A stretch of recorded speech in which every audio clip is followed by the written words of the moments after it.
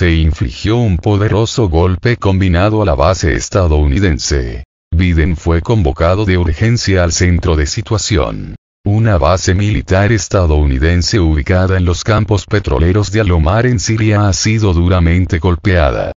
Según la información preliminar, para llevar a cabo el ataque se utilizaron vehículos aéreos no tripulados kamikaze sigilosos y misiles de crucero de baja altitud.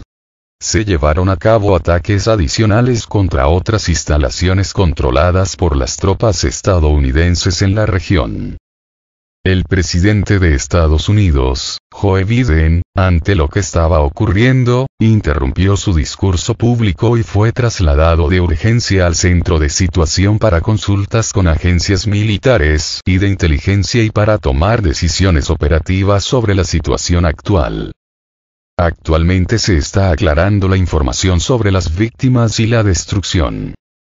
A juzgar por las imágenes de video, estamos hablando de consecuencias catastróficas.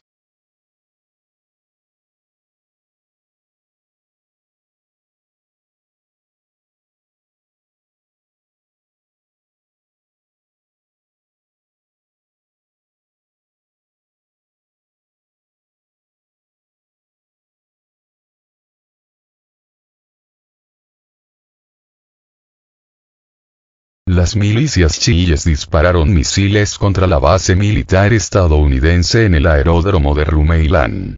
En las últimas 24 horas, el territorio del aeródromo de Rumeilán, Karabaljir, en el noreste de Siria, ha sido objeto de dos disparos de cohetes. La resistencia islámica en Irak se atribuyó la responsabilidad del ataque. El aeródromo de Rumeilán es uno de los lugares clave donde el ejército estadounidense está estacionado en la región. Según las imágenes de video disponibles, el bombardeo se llevó a cabo con cohetes no guiados. Por el momento, no se han revelado detalles sobre posibles heridos o bajas entre el personal militar. Vale la pena señalar que estos ataques con misiles suelen tener como objetivo crear presión psicológica y demostrar la capacidad de los grupos radicales para atacar incluso en zonas relativamente bien defendidas. Aparentemente, este es el decimosexto ataque contra bases estadounidenses en Irak y Siria en los últimos ocho días.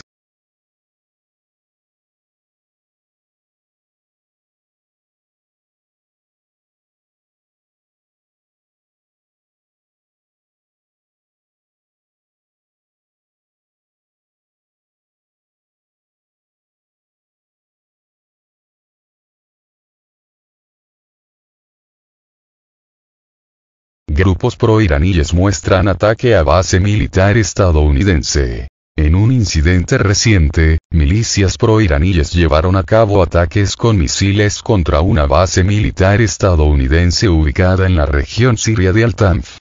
Utilizando tecnología de drones kamikaze, el bando atacante lanzó, según estimaciones preliminares, al menos seis vehículos aéreos no tripulados. Según la información disponible, el grupo Kataib Hezbollah está detrás de este ataque. Esta milicia es conocida por su compromiso con el liderazgo iraní y sus enfrentamientos regulares con las tropas estadounidenses en Siria e Irak. Hay razones para creer que la intensidad de los ataques contra la base estadounidense en Al-Tanf puede aumentar significativamente en un futuro próximo. Esto puede deberse a las crecientes tensiones en la región y al deseo de las estructuras iraníes de demostrar su poder y determinación en la confrontación con Estados Unidos.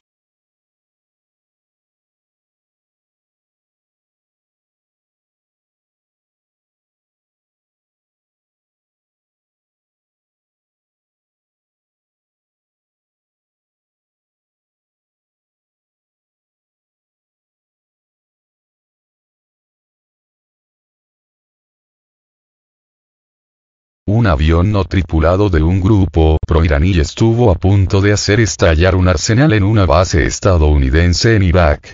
Fotos satelitales de la base militar estadounidense Ain al-Assad en la provincia iraquí de Anbar están disponibles en Internet. La base ha sido repetidamente blanco de ataques por parte de grupos pro-iraníes.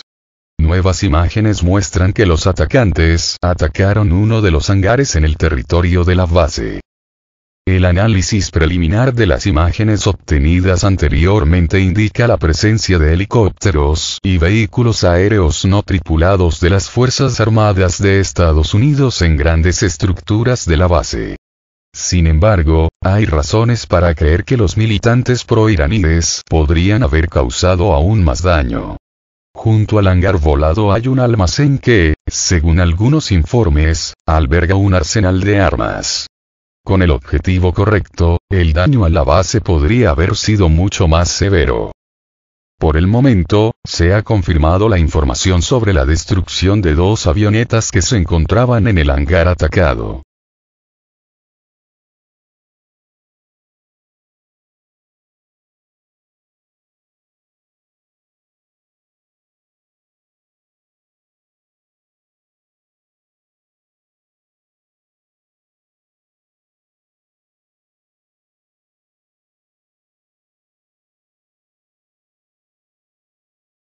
Un grupo iraní vuelve a atacar la base militar estadounidense de Ain al-Assad en Irak.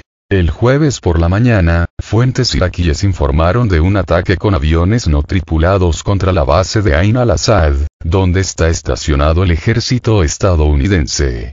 Este incidente es otro de una serie de ataques dirigidos contra los intereses de Estados Unidos en el Medio Oriente. Según Avia.pro periodistas, este es el ataque número 17 contra una base estadounidense en Irak y Siria desde el 17 de octubre. Poco después de los informes del ataque, el grupo Resistencia Islámica Iraquí en Irak, que está afiliado al grupo iraní, se atribuyó la responsabilidad del ataque. En un comunicado oficial, el grupo confirmó su participación en el ataque y dijo que el objetivo era dañar una base de ocupación estadounidense.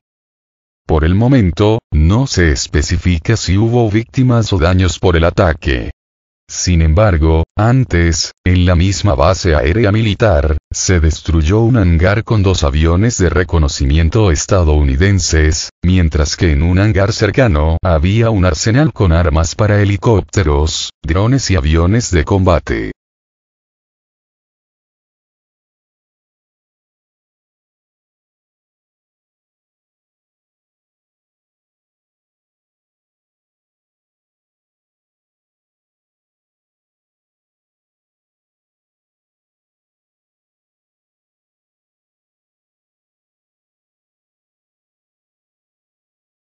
Estados Unidos desplegará 12 sistemas Patriot anti en Oriente Medio. A la luz del aumento de las tensiones en Oriente Medio, los Estados Unidos han decidido desplegar 12 sistemas de defensa antimisiles Patriot anti en varios países de la región.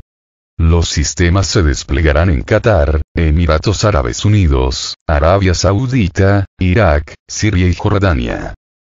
La medida es parte de la respuesta de Estados Unidos al reciente ataque con misiles de los hutíes contra Israel, así como el riesgo de una posible agresión iraní hacia el Estado judío.